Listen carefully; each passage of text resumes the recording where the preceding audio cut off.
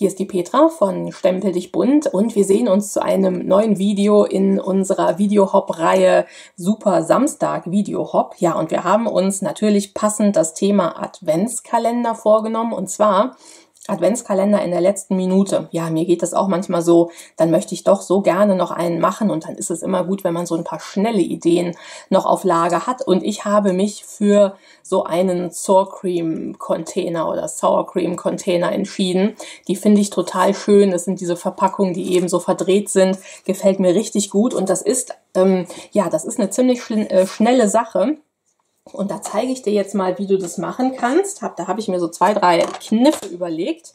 Zum einen, ganz praktisch ist, du musst überhaupt nichts schneiden. Ich habe das einfach mit einem Bogen 6x6 Papier gemacht, also mit einem kleinen Bogen.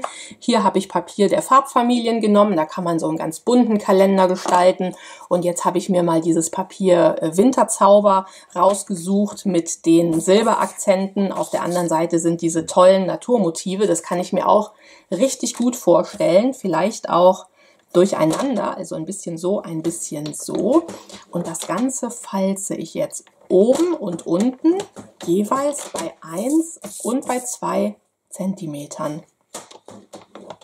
Das heißt, wenn du jetzt ein Motiv hast, wie jetzt eben dieser Naturdruck auf der anderen Seite, der einen oben und einen unten hat, dann würdest du es genau so oben und unten falzen. Und dann, was, aber ich nehme jetzt diese Seite nach außen, das knicke ich jetzt einmal vor.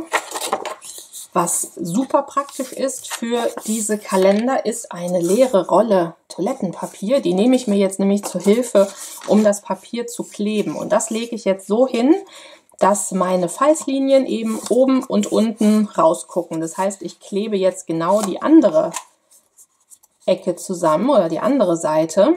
Und da lege ich mir das einfach um diese Rolle Toilettenpapier. Die hilft mir nämlich, das in der Runde zu halten. Und dann kommt auf die eine Seite ein bisschen Tombo ans eine Ende und auf die Rückseite am anderen Ende. Denn wenn ich es dann zusammenlege, dann kleben sich beide Seiten oder beide Enden sozusagen aneinander fest und nirgendwo schlackert Papier rum. Ich mache das ganz bewusst mit dem Tombo, weil das einfach besser hält als doppelseitiges Klebeband. Das liegt ja dann hier nachher in der Runde. Das muss Spannung aushalten.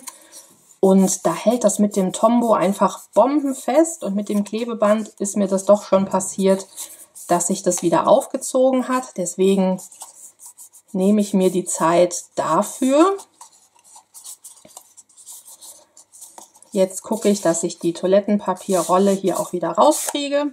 Die schiebe ich dann einfach am anderen Ende raus und die dient nur dafür, dass ich eben einen schönen Kreis hinkriege, dass der an keiner Stelle einknickt.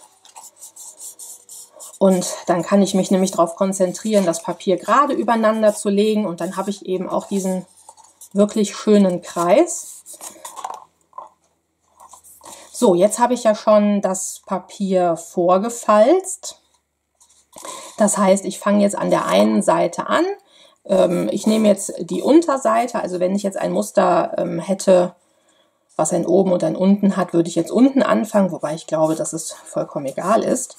Und knicke jetzt diese Falzlinien einmal nach. Und zwar kann ich das dann nämlich so wie bei so einer Tube einfach einmal um sich selber falten.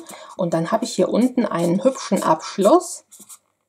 Und jetzt kann ich das entweder so machen, dass ich ähm, ja das zum Beispiel zusammentacker, wenn es super schnell gehen soll. Wobei, da man ja 24 davon machen muss, ähm, hat man eigentlich, kann man das immer so versetzt machen. Das heißt, ich klebe das jetzt auch wieder mit dem Tombo zusammen. Da kommt in die erste, in den ersten Streifen kommt ein bisschen Tombo, auf den zweiten Streifen auch. Vorsicht, nicht zu viel, es soll sich nicht oben wieder rausdrücken. Und dann klappe ich das eben so zweimal zusammen. Und was sich da auch als sehr praktisch erwiesen hat, sind solche Klammern, solche Foldback-Klammern, so wie diese hier. Die ist jetzt nur so ein kleines bisschen klein, also eine Nummer größer ist super. Oder solche Klammern. Und davon nehme ich mir jetzt eine oder zwei Klammern. Gut ist natürlich, wenn die eine große Spannung haben, wenn sie es gut zusammenhalten. Und die mache ich jetzt einfach hier dran. Und damit halten die das zusammen, sodass das jetzt in Ruhe vor sich hin trocknen kann. Ich kann jetzt schon mal die 23 anderen machen, die ich noch brauche. Ja, und dann geht es gleich hier weiter, wenn das getrocknet ist. So, wenn der Tombo getrocknet ist, nehme ich die Klammern einfach wieder ab. Und die Oberseite, die wird dann ja andersrum zugeknickt, also in, im 90-Grad-Winkel verglichen zur Unterseite sozusagen. Und hier habe ich das genauso gemacht, also auch einfach die beiden Abschnitte eingeklappt. Und dann hast du verschiedene Möglichkeiten, diese Box zu verschließen. Bei meinem Muster habe ich das so gemacht, dass ich dann zwei kleine Löcher eingestanzt habe, habe dieses Band durchgezogen und eine Schleife gemacht.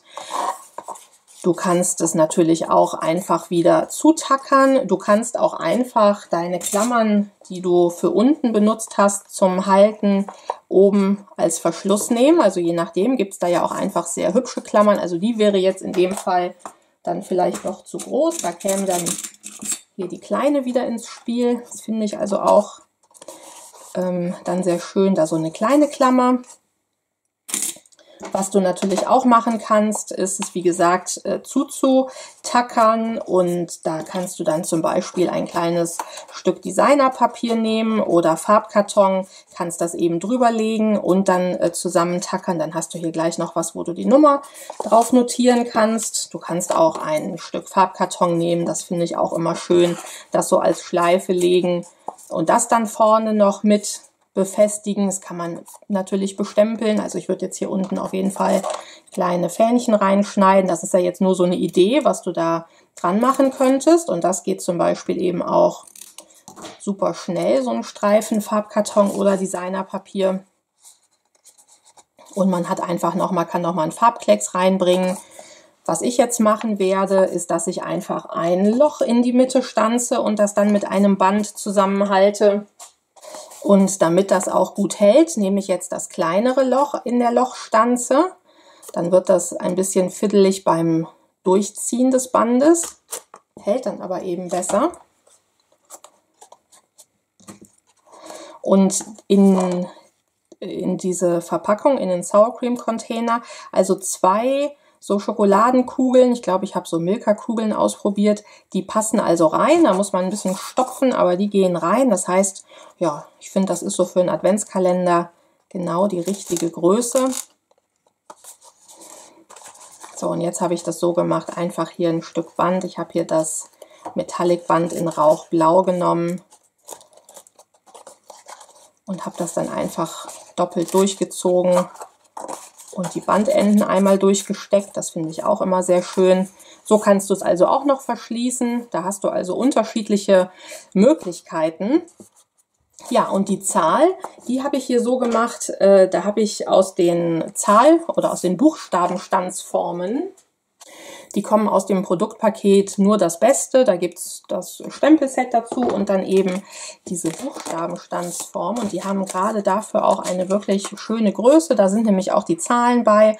Und da habe ich jetzt die 1 ausgestanzt, habe ich aus flüsterweißem Karton die 1 ausgestanzt, habe dann einfach nochmal mit der kleinen Kreisstanze aus den lagenweisen Kreisen, das ist die kleinste, den Karton drumherum ausgestanzt und einen Stanzteil äh, von den äh, Stanzformen mit Stickkante, den kleinsten Kreis genommen. Das passt prima aufeinander und was du dann ja auch hast, so, ich habe es gefunden, du hast dann ja die 1, die du ausgestanzt hast und hier habe ich ja praktisch das Negativ genommen.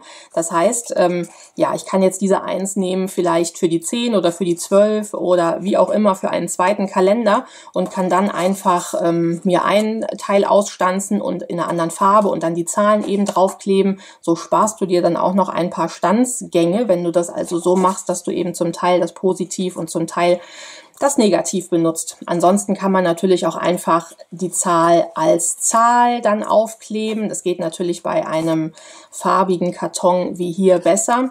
Also da hat man also vielfältige Möglichkeiten, um es sich da dann auch ein bisschen schneller und einfacher zu machen. Da kann man gucken, wie viel Zeit man noch hat.